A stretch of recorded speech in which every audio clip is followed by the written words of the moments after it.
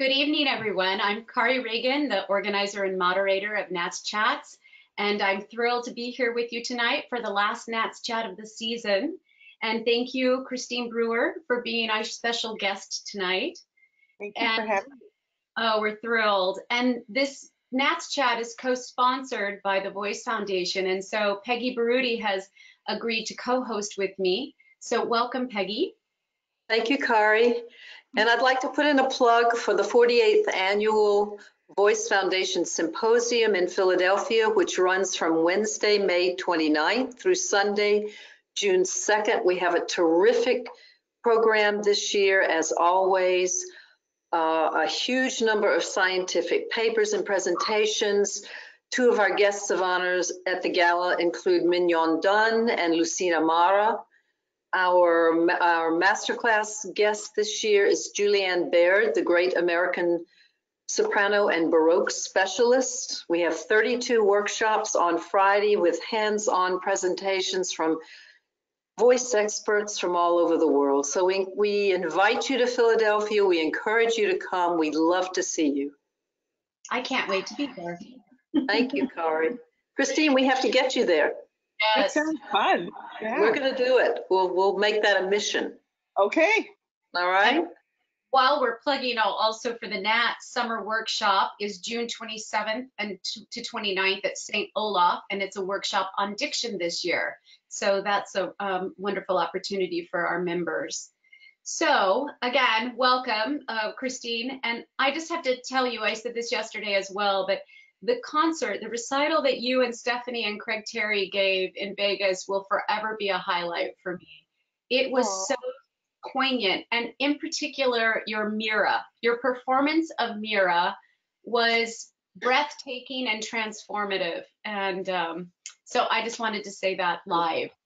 Well, thank you. Thank you. I got to say, I've been singing that song probably for 30 years. Um, a coach gave it to me one time, and I knew the song um, Love Makes the World Go Round. I didn't remember it was from Carnival, but Mira's from that musical as well. And the first time I sang through it with him, I started crying. I said, Oh no, I could never sing this in public. And we worked on it for a few weeks, and then finally I started singing it. And now it's sort of become um, a special encore for me. And when I sang it at the Wigmore Hall in London for the first time 20 some years ago, they said, We insist that you sing that at least for one of your encores every time you're back. And I have. So it's it's a special, it's a sweet song. Great sentiment. well, and you set it up so beautifully with the personal story Mm. that, you know, yes, that that made the moment. Oh, thanks. It was Thank really you. special. Well, let's start a little bit with the beyond the bio. I always like to know what don't we know from your bio? What about your background led you to music and to singing and to the career you've had? Um, there was always music in my family, in my mom's family.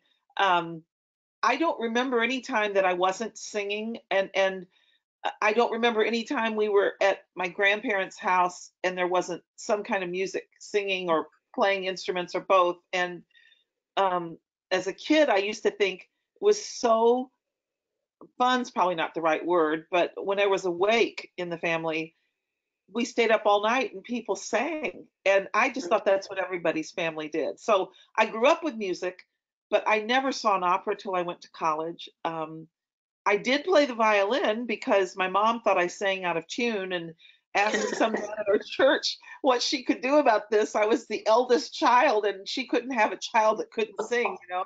And he said she needs to play a stringed instrument. She needs to play vi- violin. So they bought me a violin and got me a teacher. And so I studied classical music for the violin, but really with singing, it was just singing in college, in um, high school chorus and stuff, and doing musicals and singing in the chorus. And um, I did have a teacher in high school, Mrs. Cosby, who um, sort of took me under her wing, and she had me sing Mozart's um, the Alleluia from the Exultate Jubilate when I was a senior in high school but I didn't really have um, much training in classical singing until I went to college. Mhm. At that time in your life, did anyone ever listen to you and say, you know, you might have a career as a singer? Or was your voice not at that place at that time? it really wasn't at that place yet. Um, in fact, all through high school, my mom was had also gone to the high school that I did, and she had me when she was a teenager, and so there were teachers there who knew her. And um, anytime I sang a solo, anytime in high school that I sang a solo, I would hear these comments from the teachers who were there or people who came to hear me, and they'd say, "Well, that was really good, Christy, but you're not quite as good as D." And I'm, I'm not kidding. And I just just last week did um, Verdi Requiems in um, at SIU Carbondale and in um, Mhm. uh, Cape Girardeau, SEMO.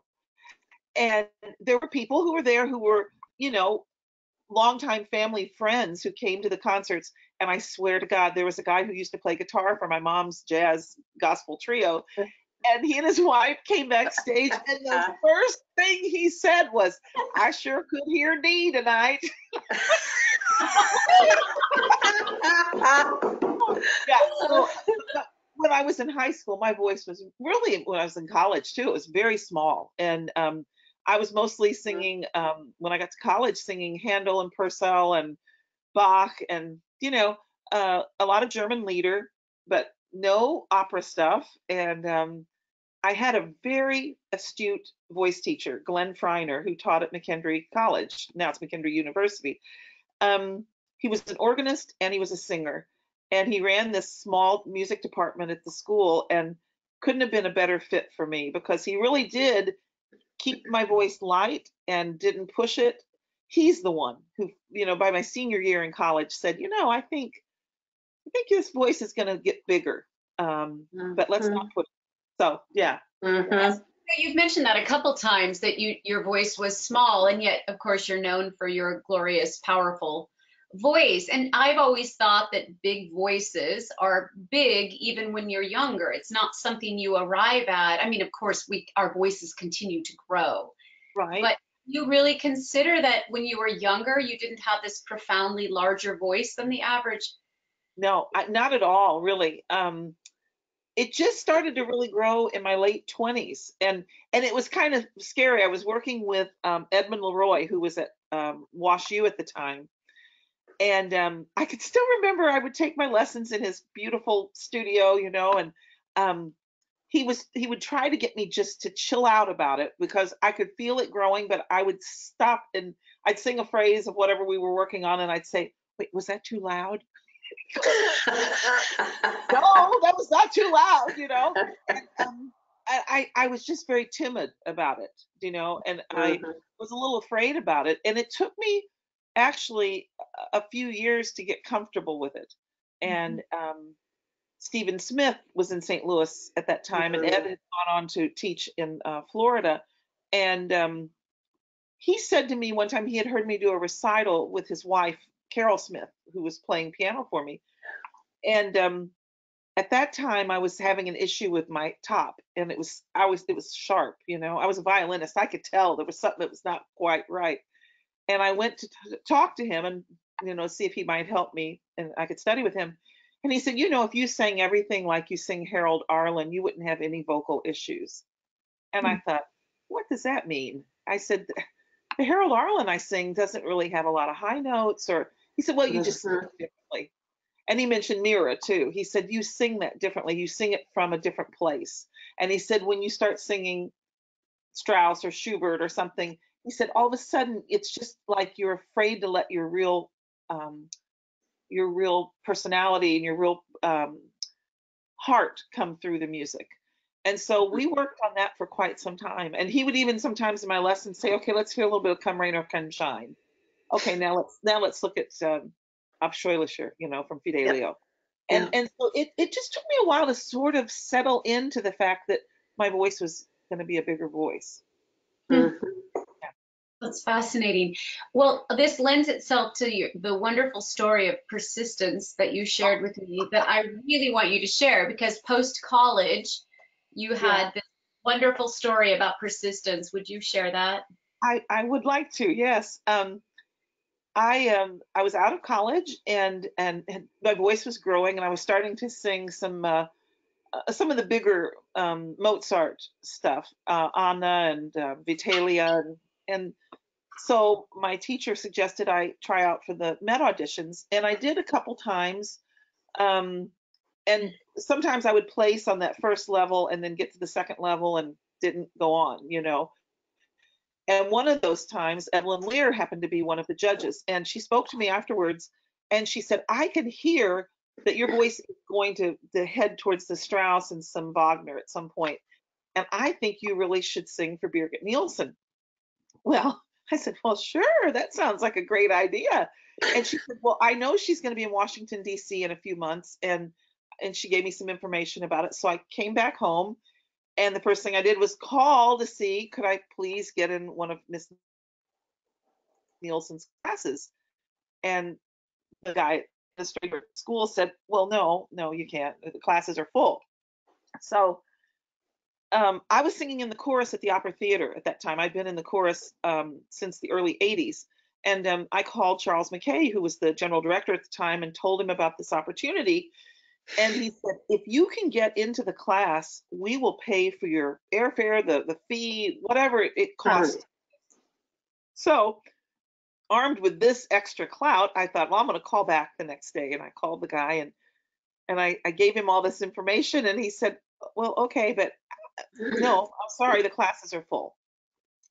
Well, I called, I, I don't know how many times I called him, but I know I called for at least a week and kept asking, has someone dropped out? somebody canceled, somebody, and finally, I think he just got tired of hearing from me. He said, All right, you can be in the lieder class. You can't be in the opera class. You can be in the lead- lieder class. You're going to be the last one on the list. You may not get to sing. What are you going to sing? And I said, Kennst du das Land, Hugo Wolf. Great. Okay, we'll see you. Hung up. And then I realized I had forgotten to ask if she was giving any private lessons. And so I called back. And exasperated. He said, "You're in the class. Now, what else do you want?" And I said, "Well, I forgot to ask.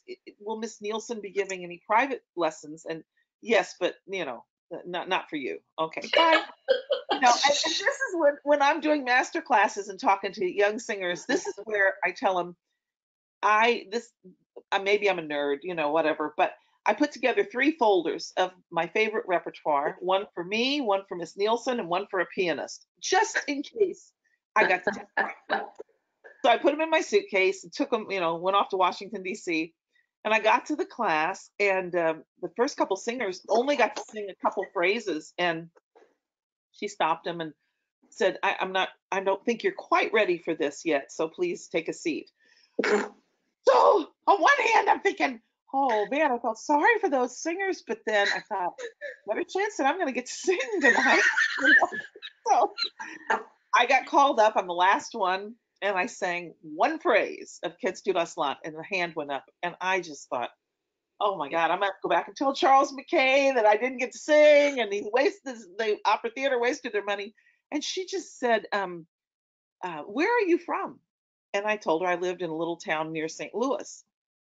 Why did you come all the way to Washington D.C.? And I said, well, um, I met Evelyn Lear a few months ago, and she suggested that I try to sing for you if I ever got a chance to do that. And she said, okay. Well, she said, who taught you how to sing? And I said, well, mostly my mom, really just singing Mhm. with her. Okay. Then she had me start over, and I sang, and she gave me some really beautiful comments and some suggestions, and I was just on cloud nine. Hmm. And then I got a phone call when I got back to the hotel. And uh, the gentleman I had been speaking to said, Well, I drove Miss Nilsson back to her hotel tonight, and all she talked about was your singing, and she wants to give you a private lesson tomorrow morning at 10. But if you Oh can't be there, there are no other option. I said, I will be there. So I went, and we had about an hour, an hour and a half session, and um, she invited me to come to Europe. She was doing this really special fun. It was an interesting class. It was in this little uh, village called Bückeburg, Germany, near um, Hamburg. And she chose five singers. Uh, there, there were a couple from Sweden and one from Germany and two from America. And every day we we met in this little castle in this beautiful, not a little castle, in a castle, but in this beautiful studio. Um, and we sang. And each of us had about an hour session with her, but in front of the other singers. So it was like a master class for those of us who were listening.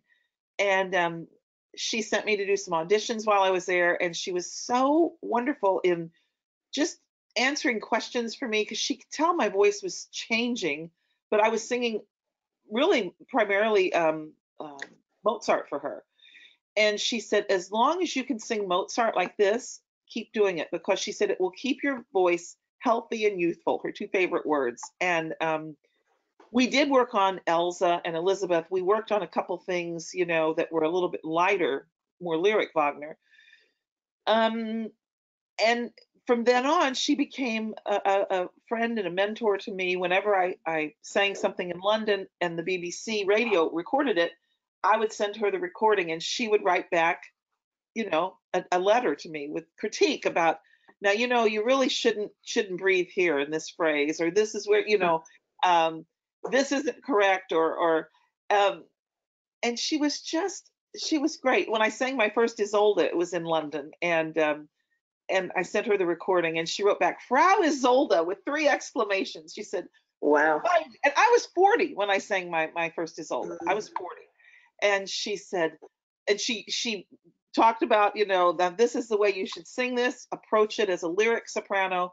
And I have to say, I really approach everything as a lyric soprano. And I know my voice is big, but I don't approach things like a dramatic soprano, you know, because I don't really, I still feel like I'm a lyric soprano with a big voice. And Mm. um, so she was, she even, um, I can't remember if I told you this story before or not, but um, when I did my first immolation scene, it was with the Swedish Radio Orchestra. And I wrote to her, I was in Lyon doing Ariadne for a couple months, and I was working on this while I was there. And I told her when I was going to do it, but I didn't hear back from her. So I thought maybe she was out of town. So I did the concert. And when I got back to my dressing room, um, uh, an usher came to the door and said, You have a phone call downstairs at the stage door and no one knew I was there except my husband. So of course I thought, oh my God, somebody's died or something's happened. And I got downstairs and I answered the phone and she says, "Hello, Christina," and it was it was Birgit, and she had just gotten home out of town and she listened to the live broadcast. And we shared a few little pleasantries, and she said, "Oh, your voice sounds healthy and youthful. Okay, now." And then she gave me a list of things. She said, "Now, I don't think you should ever sing the the um, the things in the low register any louder than you sang it tonight. It's up to the conductor to keep the orchestra down. If you start singing too loudly and um, forcing that voice, you'll get a wobble in your voice. It'll make your voice sound old. I mean, she was just giving me a lesson over the phone, and it was wonderful. So all of that, I think about it quite often. It would never have happened if I had hung up after that first time he said no, or if I had said, okay, well, she's not giving any private lessons. I'll just go and have that master class, you know? And so I tell this to young singers a lot that, you know, it is, there is some truth to being at the right place at the right time. Yes. But you also have to be super prepared. And I think just as, as much as possible, make yourself prepared for what you want to try to do. Well, and as we talked yesterday, that persistence right up to the point of obnoxious, you know, you know, where where is that fine line, you know? And I just I just think that story is so remarkable. And the fact that you packed three folders, right? that to me, it's like that is making something come true for yourself because you Yeah. envision. Yeah. Those that's really important. Yeah, I mean, and it's little stuff like that. I mean, I when I I um uh, go to Webster University in the fall, and I talk about what it means to be a singer and what it means as you're you're planning your studies or planning auditions. There are little things that we talk about, like you know having a folder ready for an accompanist who may be sight reading it.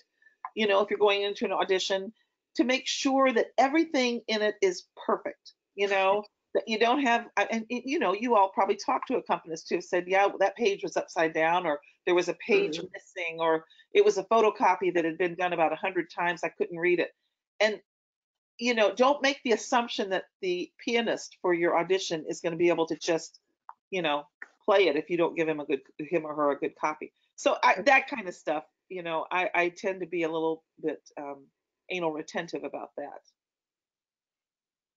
Can I ask a question about your voice since it went through this transition and metamorphosis? Did it hit a period, I'm assuming that happened in your late 20s, did it hit a period in your 30s and 40s where you felt like it was sort of consistent, or has it ever had a period where it sort of plateaued and you felt like, okay, this is it and this is where it is for now? Well, Or has it just been a, it's you know what I, I found all along um there have been different times uh, and, and sometimes it's happened with a certain role that i sang um Mhm. one particular was um oh i cannot remember the year we did this in st louis it was um haydn's armida and i love hearing um those kind of uh, coloratura roles sung with a bigger voice and my voice was starting to get, get bigger then probably I want to say 35. I, I wish I would have thought about this before we, we talked tonight. I could have given you the date. But um, as I was working on that for the probably a year before we started rehearsals, and then we had a couple months of rehearsals and performances, I really felt that my voice um, got higher, that that my range got a little bit higher, and Mhm. uh, I attribute it to that role because it was it was up, you know, it was in a, a higher register than the Mozart that I had been singing prior to that.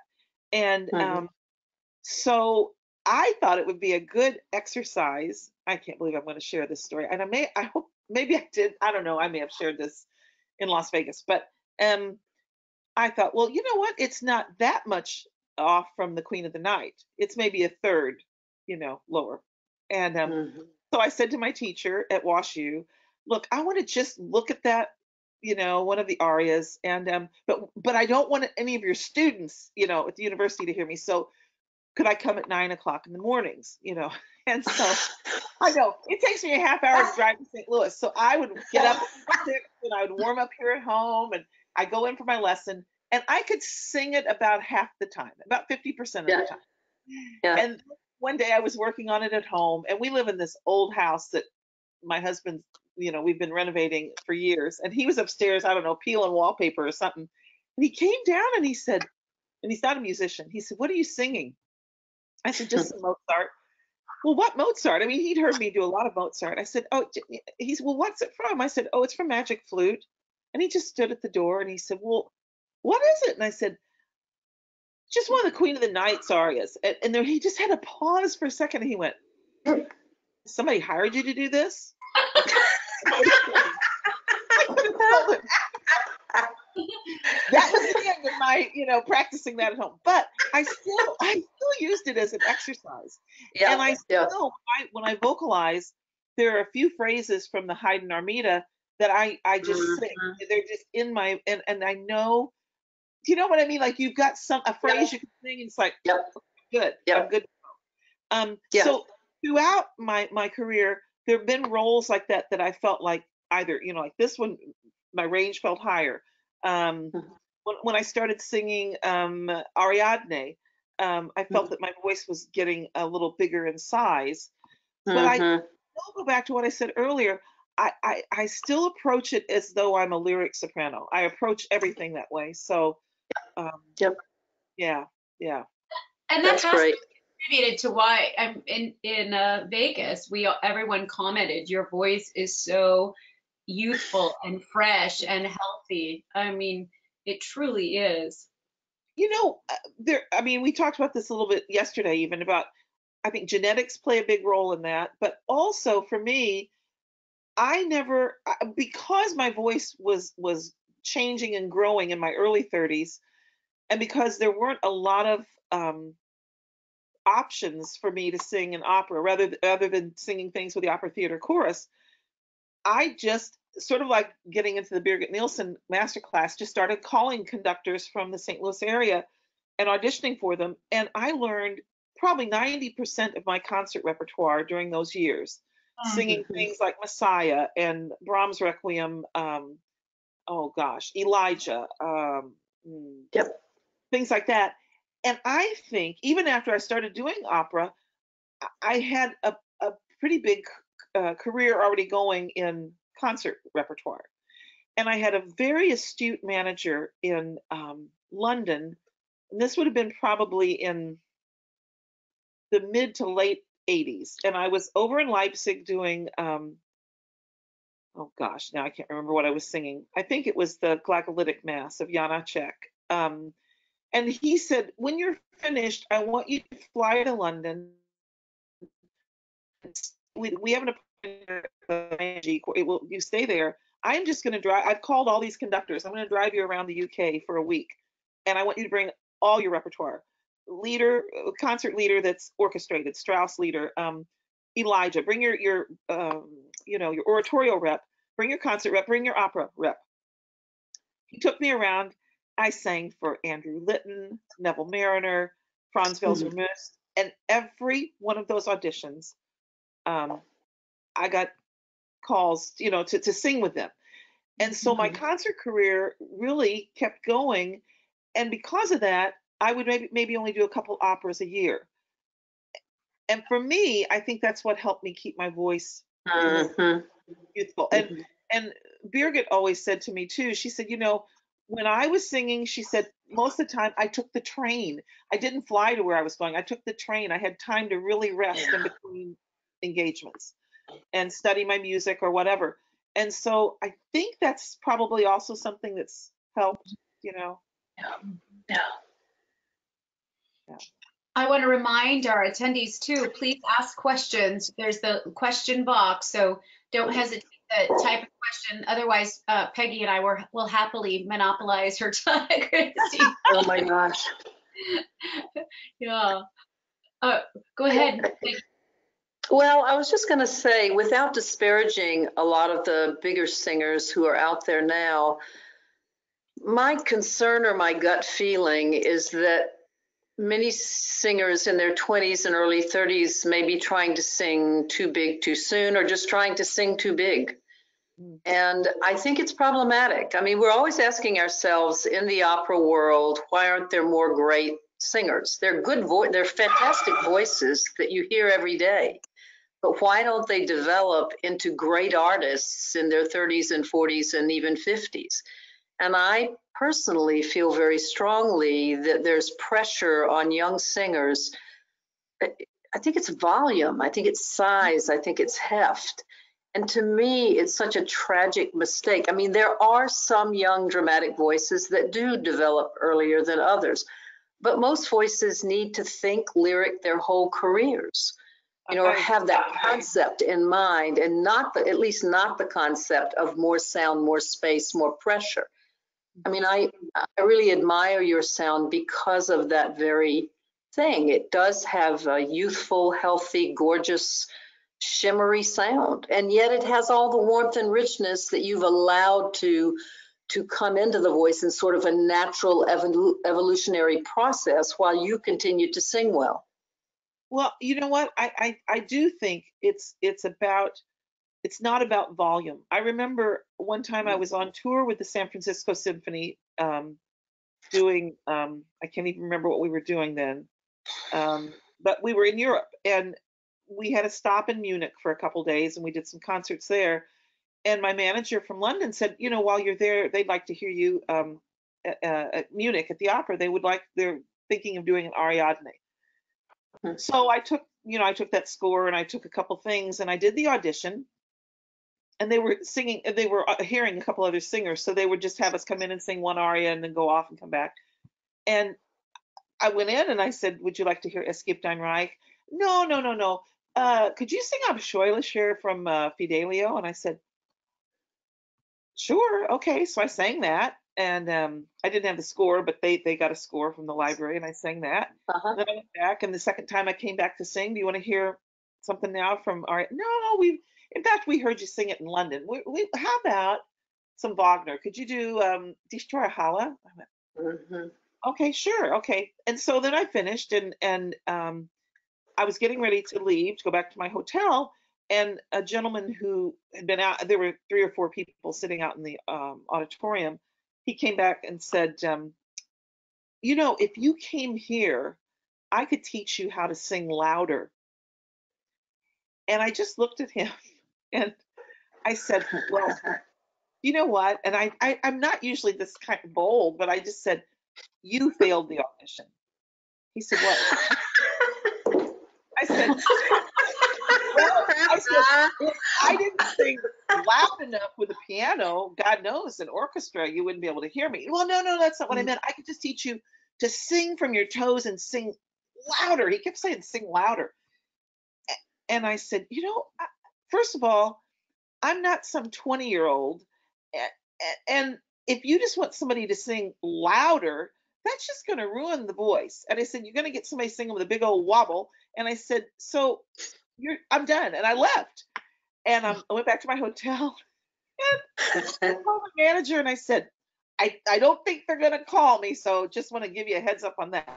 Well, the next day he called me. He said they actually did call um, and said that they're, they're, they do some concerts and they want you to come and do um, the Shostakovich. Is it 12 or 14 that's for baritone and soprano? They want you to do Mhm. that and they want you to do uh, the Britten uh, Les Illuminations in a concert. I said, oh, okay. Well, I said, um, here's the deal. Um, you have to make sure that Herr Schmidt is not allowed at any rehearsals or any. I don't want to talk to him. And uh, this was going to be in a couple years. And, I said, I'd like you to negotiate a really good fee because I think they were very rude to me, you know. So two years later, flash forward, I get there, and uh, Mark Wigglesworth was conducting, and I looked around and I asked someone, "Is Herr Schmidt here?" And they said, "Oh no, he got fired because he was always telling singers, you know, like after a dress rehearsal, the final dress, he would go up and say to them." Were you marking today? Because I, I just don't think you were singing loud enough. Oh my God. He had a hearing problem or something, or I don't know. I don't know. But that whole thing of singing louder, and, and I say this sometimes, and I do hear a lot of young singers. Um, I'm on the Sullivan board um, in New York, and so um, I sit in on auditions, and there are three or four of us who will listen to these young singers, and um, and I do master classes and stuff. But it seems like there's so many of these 20 and even 30 year olds that are just singing everything loud, and I I get it if you've got a big voice, but I I say sometimes to them, just singing everything loudly gets boring. And and I use the example of when my daughter was in high school and I used to be yelling at her about something that she had done.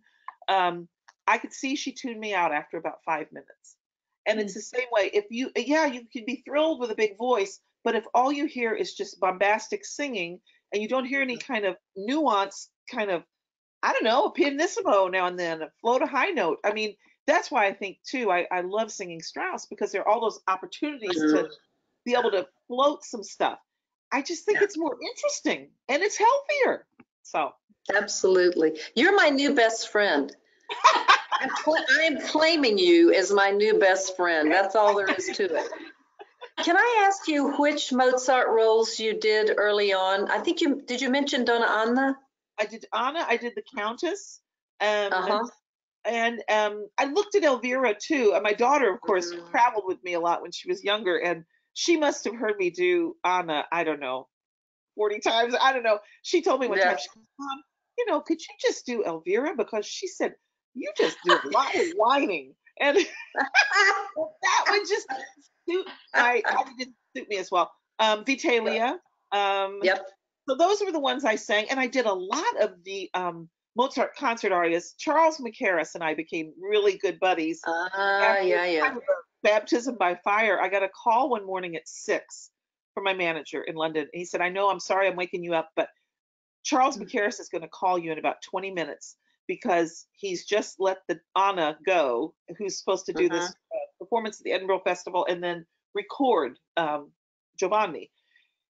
And I was working on it to sing at Covent Garden and at the New York City Opera. So it was in, he knew it was, you know, in my wheelhouse. So he said he's going to call you. So he did. And um, we spoke for a few minutes on the phone and he's, and I can't do his accent, you know, but he says, well, you know, uh, your manager had me listen to your Euryanthe recording. He said, you know, that's in German. I said, yes, yes, sir.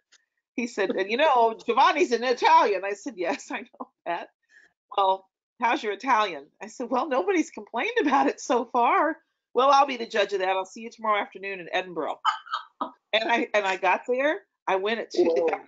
two sang through the whole role, and he's kind of gruff. He was a little gruff and abrupt, and it just he sort of, "You'll do," and I'll see you tomorrow at rehearsal.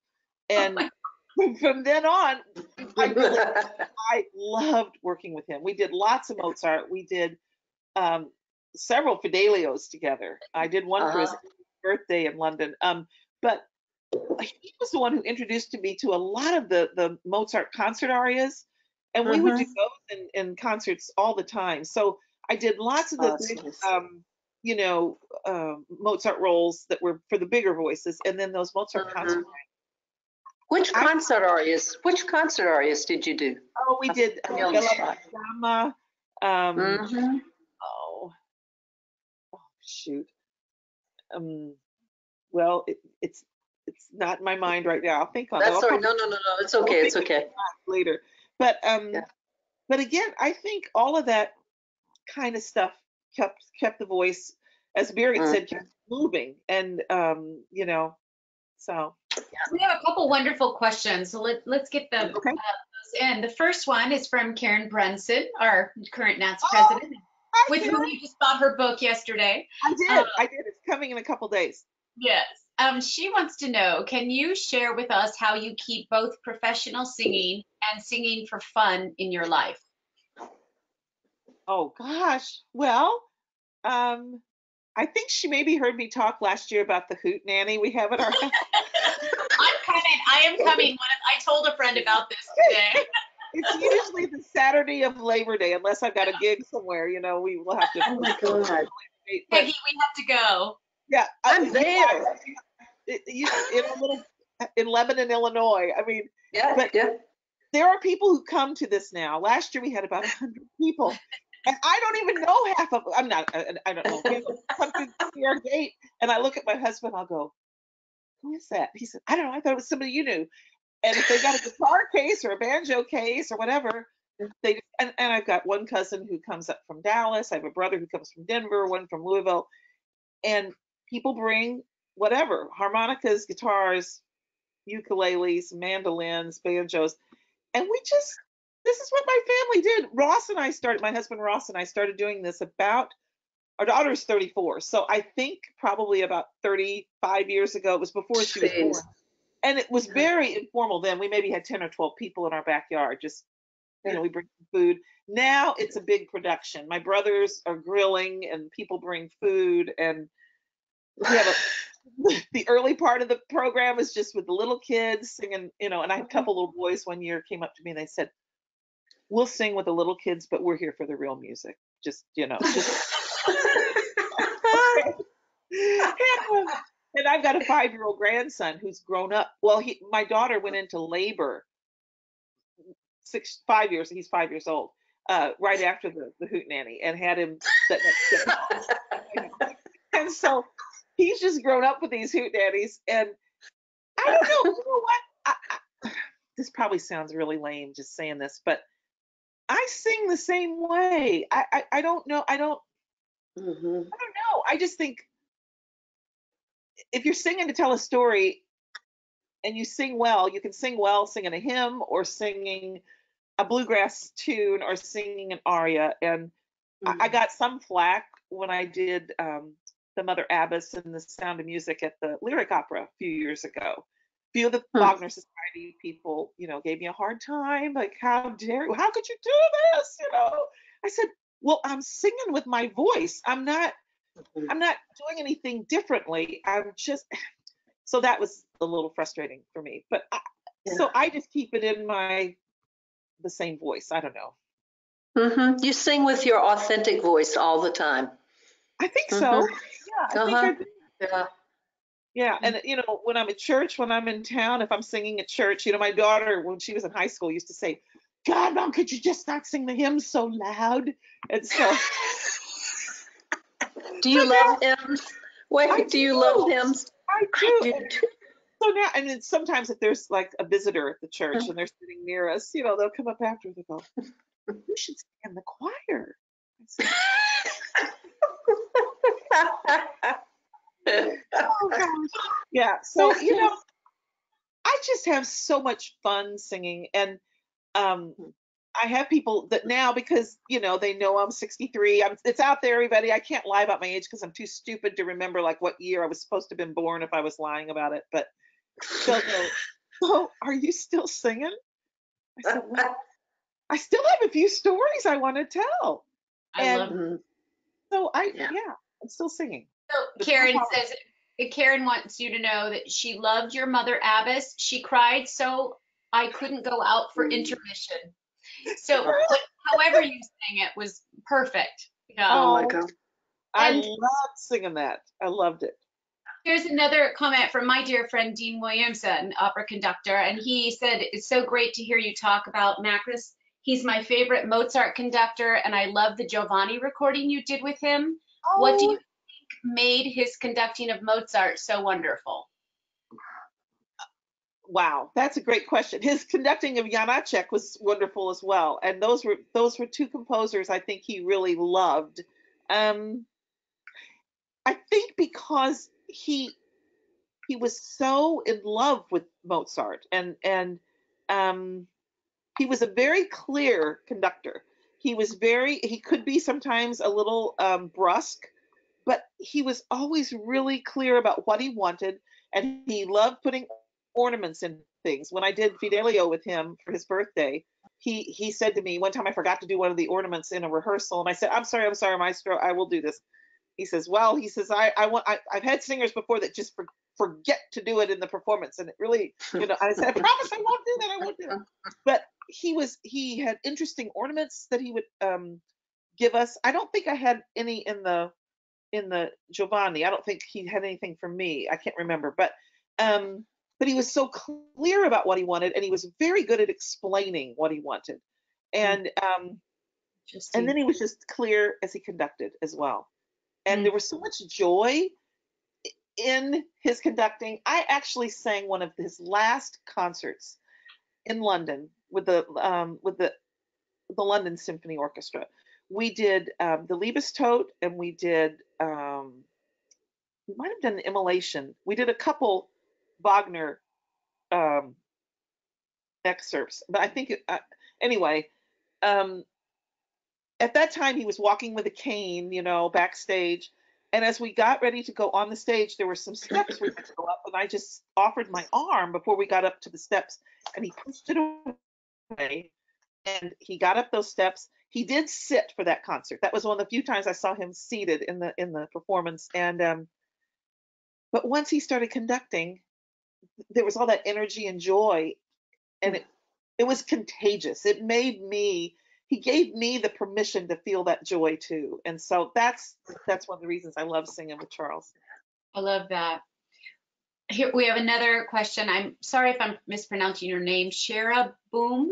And she says, How do you deal with illness, colds, laryngitis, etc., with your performance schedule? oh that's good um I, have to say i think i've only had laryngitis once um and it wasn't a time that i was performing um i've had issues you know with colds and stuff like or allergies um I don't know. My daughter is a nurse. Now she tells the story that when she was a child, she said, "You know, mom, when I was a kid, I used to tell my friends if they came over after school and if they sneezed around you, they had to say they had allergies or you'd make them go home." And I said, "I don't think I ever sent anybody home." And she said, "Oh, oh yeah, you did. Yeah, you did."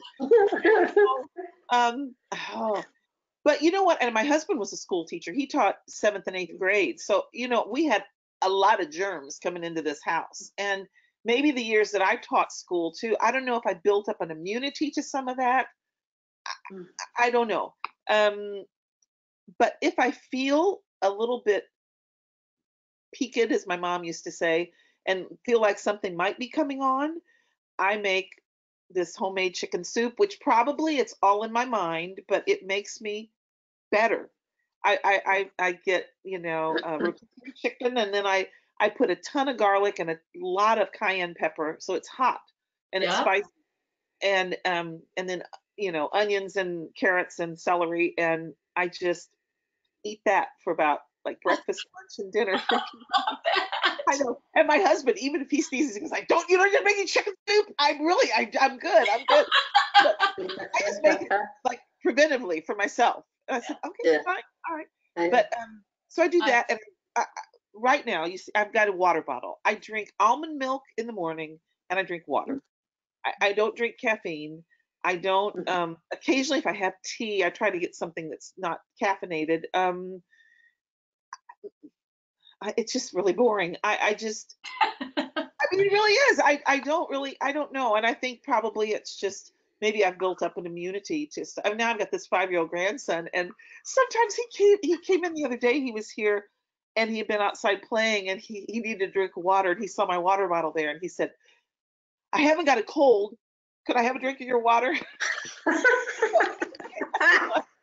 said, well, yeah, but you can just get your own cup too, and then you can. You- Chris- Chris- So I- I- Christine, do you, do you think you just have good genes? Oh, I, you know what? I think there's a lot of truth in that. I really do. Yeah, yeah. Um, We have another uh, terrific question from Ray Mira Hilliard. With all of your experience and groundedness in your instrument, do you find that you are still learning or discovering things about your instrument? And are you still actively pursuing new works? I love that I question.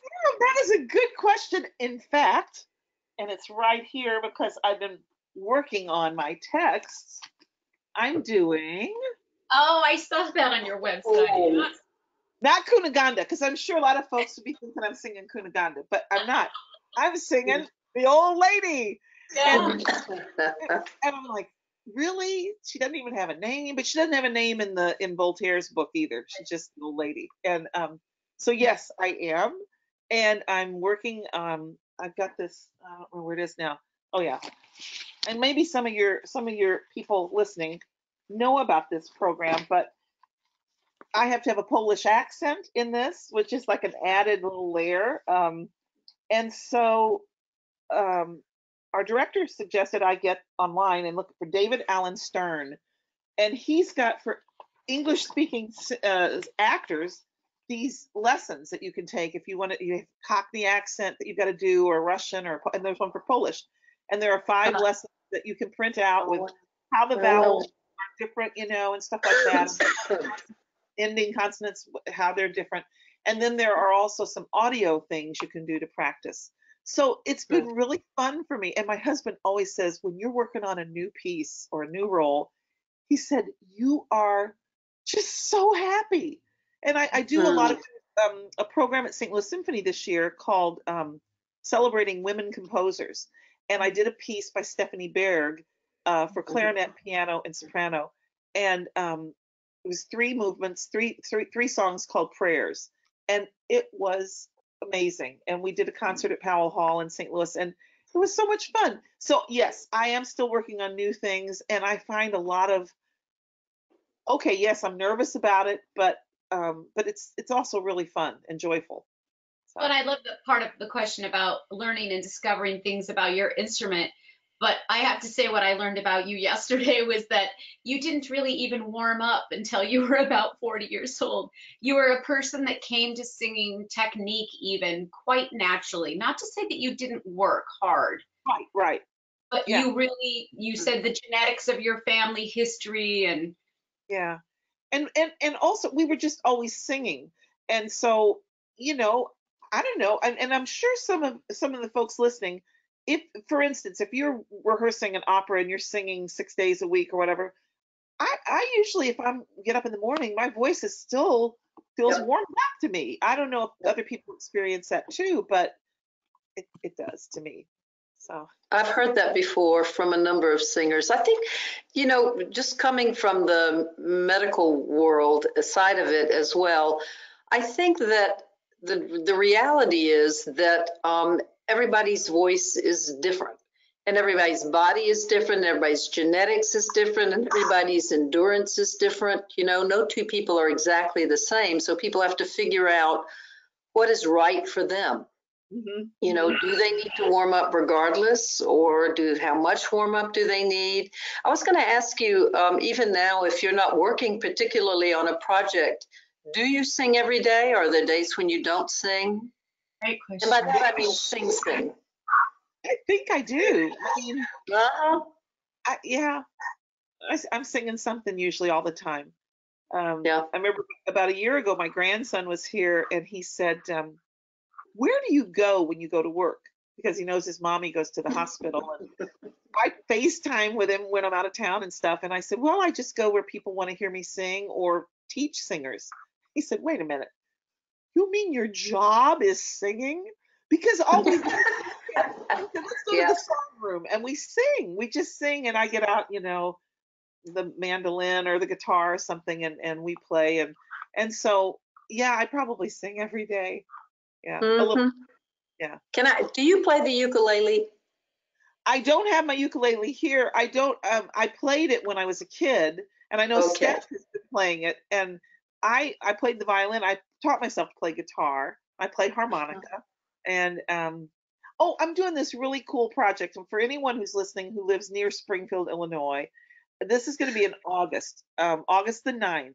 They've asked me to come there and do this um panel discussion with a bluegrass banjo player from the Chicago, Skokie, Illinois area. And so it's sort of to show, okay, we have this girl from, you know, the hillbilly from Southern Illinois, from Grand Tower, Illinois, who sings opera. And then this guy who plays bluegrass stuff from where you don't normally think that we would, you know, be doing that Mhm.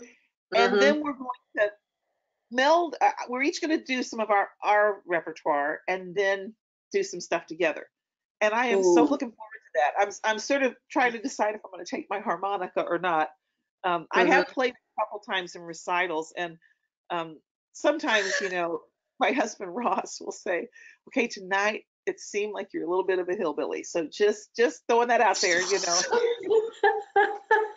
I heard that. so uh, but anyway i love that kind of stuff you know? Yeah, yeah.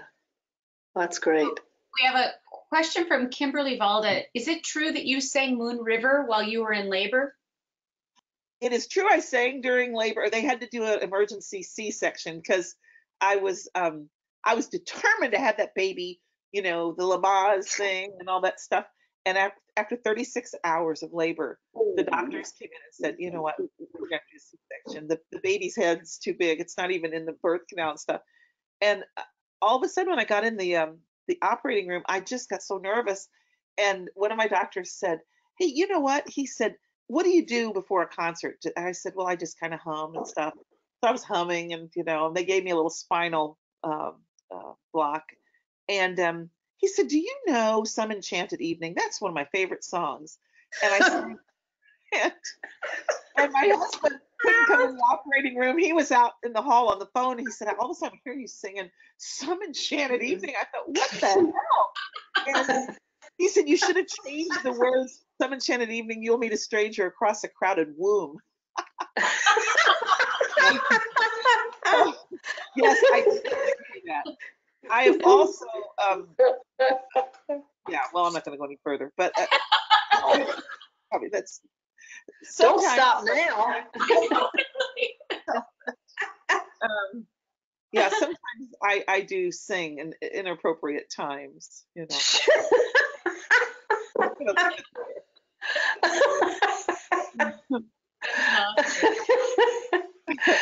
Oh my God. I work with, you know, our young 20 something emerging singers, they that want to have a career that you have had, right? You you are living the dream. And I want to know what what would you say has been the uh, uh, greatest joy out of that adventure and the greatest challenge out of Mm. giving to live the dream that so many want? Mm. There have been a lot of joys about it in meeting people like Birgit Nilsson and getting to work with conductors like Sir Charles Mackerras. And, you know, those are certainly the highlights and the, the high points. For me and my friends who know me, you know, I had my daughter Elizabeth when I was in my late 20s. And so I took her along with me for a long time. And my mom would travel with us and stuff. Um, but when I had to make decisions sometimes and I couldn't be at home for something like a birthday or something, that was really difficult for me. Um, it was challenging.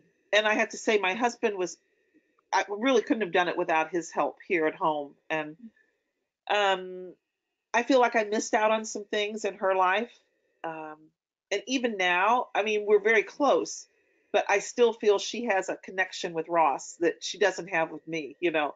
Mm. Um, but it's um, so that's sort of bittersweet. Um, but then she'll talk about some of the stuff we did when, you know, remember when we were in Italy, Mom, and we took the train here, and she's and she talks about these stories and adventures that we had very Mhm. lovingly. Um, but yeah, I think it's always for me, it was always about the balance of, of family and career. But I think that's true in all professions. With women I've talked to. So, um, Mhm. but I think I would just say to singers, everybody's journey is going to be different. And there were times I probably said no more than yes really early in my career when people said, oh, we, you know, we'd love to have you sing Tosca.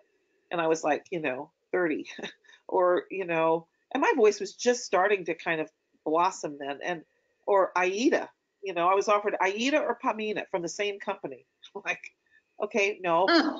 No. So, um, I think you have to be the best judge of that and use your gut feelings about sometimes there are some things you might want to say, I might want to do that in five years. I don't think I'm ready to do that now. Um, it's hard though. It's a hard thing to do. You mentioned that yesterday too, trusting your instincts as a young singer, both in regards to teachers Yes. that you work with, opportunities that you have. Yeah. I would and- say, I would say that you have such a level head though. I mean, I, I know, we all know lots of young singers and you do have to learn to trust your instincts, but sometimes people have to mature in order for that to be a good way to live. You true. sound like somebody that was very level headed from the onset. I, I think so. And I do think that it was Mhm. a lot of that early singing with my mom who, who didn't Mhm. have any, you know, training, uh, professional training, but she just knew how to tell a story. And sadly, she died quite young with ALS. And so she was still singing up until like a few months before she was diagnosed and, and she was in her late 50s. And so, you know, but she just, it was just about telling the story to her. And when she heard me sing, you know, she heard me sing at Covent Garden, she heard me sing, and she would always be, you know, that was really beautiful. You sang so beautifully, but your voice sounded great. But I didn't think you were always singing from your heart. Mm. And it used to piss me off, you know. But Mhm. she was she would allow herself to be really vulnerable when she sang. And I think I learned it from her. Yeah. Unfortunately, not very much until after she passed away did I really kind of get it, you know. Sure. But, uh, yeah, but I do think that, that a lot of that level-headed stuff came from just being raised by someone who was so straightforward about what she did. Mhm. Mhm. Wonderful. That's great. Well, this has been just a remarkable, remarkable hour. And I had such fun yesterday too, uh, talking with you. I did too. You're so delightful. This is really Thank you so well, thank much. you. Uh, We just can't thank you the question. Yeah. Um, and I just want to thank our attendees for joining me this year. It's been really qu- uh, quite a remarkable year as I think about what I'm going to put together next year. It's going to be hard to pass this, um, surpass this year. We started with Karen Brunssen and then Mary Saunders Barton and Norman Spivey talking about cross training, Chadley Ballantyne and Kerrie Obert discussing twang, Lynn Helding and Lynn, Lynn Maxfield discussing motor learning theory, Ian Howell discussing psychoacoustics, and then Scott McCoy, um, the state of pedagogy today. And of course, bringing it around to the finish tonight with Christine Brewer. So quite a remarkable season. Wow, that sounds like it. I feel very honored to be in that group that you just Well, mentioned. Mm. We're the ones that are honored and they're all archived so people can watch them. And um, I'll be putting together next season this summer. So if you have ideas, let me know. But um, for tonight, that is a wrap. And thank you, Peggy, as well for joining us. Pleasure. Yeah. So thank you, everyone, and have a Great. great